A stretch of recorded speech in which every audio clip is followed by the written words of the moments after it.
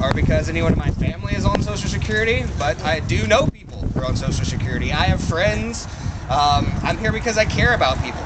We talk about how we want more more aid for, for the poor, for the low income, or it's out there, Yes. but they're talking about getting rid of it That's right. and and and we we have a voice about that because because we care about one another. I, I have friends who couldn't eat tonight or last night if it wasn't for such programming. Yeah, People yeah. who are no fault of their own or on disability, and that's how they get to pay for their medication. They'd be in excruciating pain if it wasn't for these programming like this.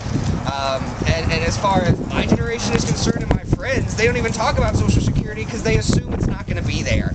But it can be, and it needs to be. Mm-hmm. We're paying mm-hmm. into mm-hmm. it, and we should be able to take out of it if we need to. Yes. Uh, so I'm here because I care about people, and as a voter, part of Robert Hurt's constituency, I feel I have a right to know where he stands on the issue. Absolutely. Yes.